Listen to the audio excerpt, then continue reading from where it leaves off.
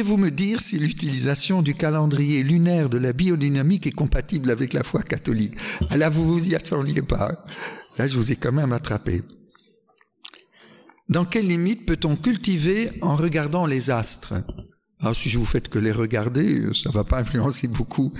Non, mais c'est une boutade. La question est tout à fait pertinente. Hein. Pour nous, nous n'utilisons pas ce calendrier car il est pour la dionamie. Aux feuilles de Maria Thune. Je vais vous expliquer. Et nous savons Rudolf, que c'est en lien avec Rudolf Steiner. Je vais en dire deux mots. Cependant, nous connaissons. Bon, alors, qui est Maria Thune Ah ben, j'ai oublié de faire une diapositive. T-H-U-N. Thune. Elle meurt en 2012, âgée, elle est née en 1922. C'est une des pionnières de l'agriculture biodynamique. Alors elle va, pendant 40 ans, elle va observer la nature et dans, dans la petite ferme qu'elle a héritée de son papa et où elle vit avec ses enfants qui prennent part à ses recherches. Elle est née dans une famille, dans une ferme allemande, donc elle est infirmière dans la Deuxième Guerre mondiale. Elle va épouser un professeur d'art à Waldorf, voilà où je voulais en arriver. Il s'appelait Walter Thun. Waldorf, ça vous dit rien?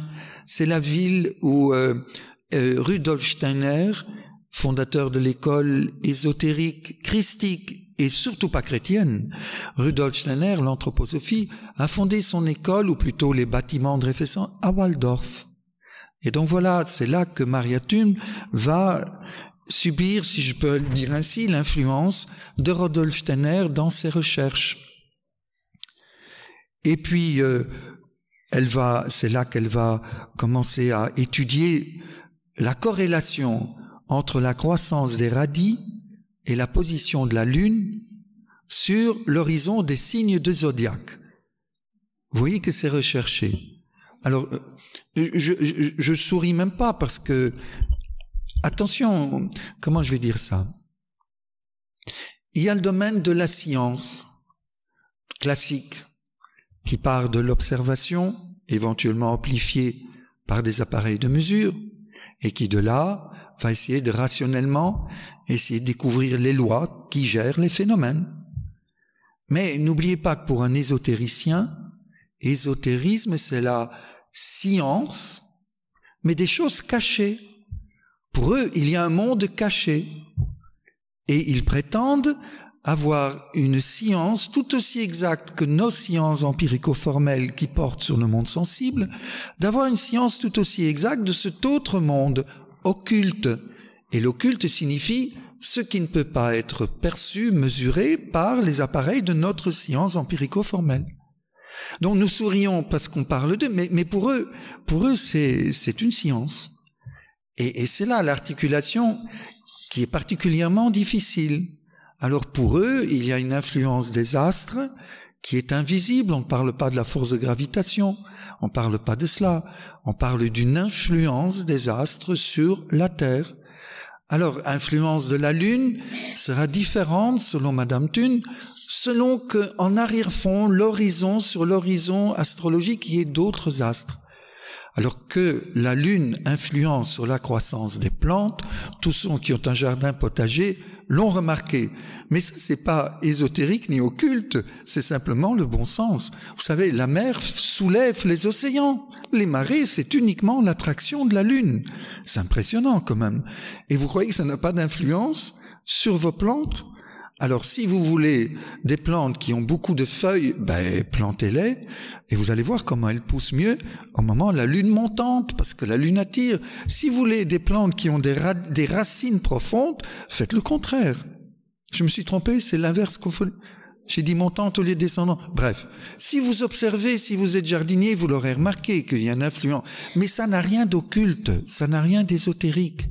Le problème est que on va mélanger des conceptions ésotériques, des influences astrales, voire des influences d'entités de la nature sur la croissance, etc.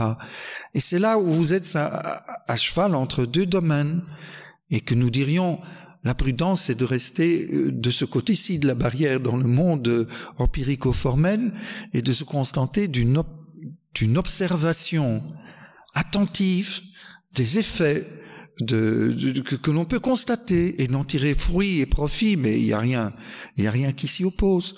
Mais ne mettons pas le pied dans l'engrenage ésotérique, parce que là, vous faites confiance à des doctrines que vous ne pouvez pas vérifier et qui sont souvent quand même sérieusement ambiguës. Alors, si je parle maintenant, mais j'ai employé le terme d'agriculture biodynamique, ce sera un exemple encore une fois. C'est une orientation de l'agriculture, disons, écologique. Euh, il y a il y a une agriculture biologique qui va éviter d'employer tout produit, euh, euh, aidez-moi, de, synthèse, les engrais chimiques, les fongicides, les pesticides, les OGM. Ça, c'est biologique. Pourquoi on dit biodynamique? C'est ce dynamisme qui s'ajoute. Dynamis, c'est la force. Alors la première conception, elle n'est pas forcément fausse. C'est que votre jardin est un microsystème où tout est en interaction. Et ça, c'est vrai. Il faut savoir quelle plante il faut pas planter à côté de l'autre pour éviter, par exemple, que les limaces viennent manger les premières, et etc. C'est encore une fois du bon sens, du, des traditions. Nos grands-pères nous apprennent comment comment il faut mettre son jardin pour qu'il soit le plus fertile, le plus fécond. Jusque-là, il n'y a pas de problème. Qu'il y a aussi une interaction, ça c'est des interactions entre les plantes. Qu'il y ait une interaction entre les plantes et le sol et le sous-sol, mais c'est évident. Qu'il y ait une interaction entre les plantes et l'atmosphère, mais c'est encore évident. Mais là où ça devient plus embêtant, c'est qu'on dit qu'il y a une interaction avec les astres, avec les étoiles, je ne parle pas de la Lune, l'exemple que je viens de donner, plus loin, et qu'il y a une interaction avec le psychisme humain. Alors bon, on peut avoir la main verte, et c'est vrai, il y a des gens qui aiment leurs plantes et les plantes poussent mieux.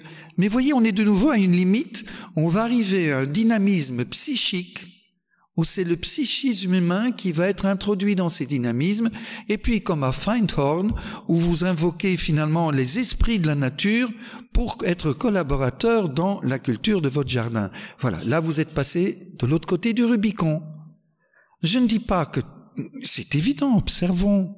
Et il y a beaucoup de choses que nous ne, nous ne voyons plus parce que notre monde nous habitue plus à regarder attentivement la nature. Vous savez, quand les petits enfants leur demandent de dessiner, de dessiner un poisson et qu'ils dessinent une tranche de findus, là, ça, ça montre bien qu'il y a une dérive, là. Mais d'un autre côté, observer la nature, c'est pas forcément plonger dans l'arrière-monde occulte en s'appuyant sur des doctrines ésotériques. L'intérêt pour la vie, ce qui la suscite, mais bien sûr qu'on est 100% pour. Mais faisons attention, de rester dans, le domaine, je dirais, de, des forces que, que, que l'on peut reconnaître avec les ressources de notre science empirico-formelle. Alors je donne encore un dernier exemple. Vous ne saviez probablement pas que un bon euh, engrais ça va, ceux qui le savent vont même pas sourire, mais vous prenez une corne de vache et vous la remplissez de bouse et vous la laissez macérer tout l'hiver. C'est une excellente engrais. Je veux bien. Il fallait y penser de faire cette expérience. Mais si le résultat s'appelle positif, mais pourquoi pas? Seulement l'explication est quand même un peu originale. La corne de la vache est un organe qui rayonne des forces éthériques et astrales. Si on remplit une corne avec la bouse de vache et qu'on l'enterre tout l'hiver, le contenu de la corne se trouve intérieurement vivifié par ces influences astrales et éthériques et acquiert une capacité de fertilisation extraordinaire, etc voyez, de nouveau, on est passé l'autre côté. Il y a des énergies astrales, occultes. Voilà. Alors je crois que le bon sens nous dit, n'allons pas de ce côté-là. Alors il y a peut-être d'autres engrais naturels que la bouse de vache dans une corne. Alors pour vous dire juste une ou deux citations de Rudolf Steiner, qui est derrière ces, entreprises. Vous m'entendez, je suis prudent, hein, je suis pour l'agriculture biologique et même une certaine dynamique, mais c'est pas la peine de glisser dans l'ésotérisme. C'est ça qui est difficile aujourd'hui. À la croissance des plantes, dit Rudolf Steiner, le ciel entier participe avec les étoiles. C'est mystique, mais tout ce qui se trouve sur la Terre est un reflet du cosmos. Attention, ça c'est de l'hermétisme, Hermès Trismégiste. Ce qui est en haut est comme ce qui est en bas, et ce qui est en bas est ce qui est en haut pour le principe d'unité. Cela veut dire, derrière tout ça, cette simple petite phrase, il y a déjà un panthéisme. Dieu est en tout et tout est en Dieu et tout est Dieu. Et le mystère du cosmos est inscrit dans la moindre particule. C'est une sorte de hologramme en quelque sorte. Alors évidemment, la phrase a l'air anodine, mais quand on connaît ces doctrines, on se dit, mon Dieu, mais il dit beaucoup, c'est la clé de l'hermétisme qu'il énonce là. Une agriculture saine doit produire par elle-même tout ce dont elle a besoin. On regarde une aiguille aimantée et on découvre que cette aiguille dirige toujours une de ses extrémités vers le nord et l'autre vers le sud. On se demande pourquoi il en est ainsi, et on cherche la raison, non dans l'aiguille aimantée, mais dans la Terre tout entière, en attribuant à celle-ci d'un côté un pôle magnétique nord et de l'autre un pôle magnétique sud.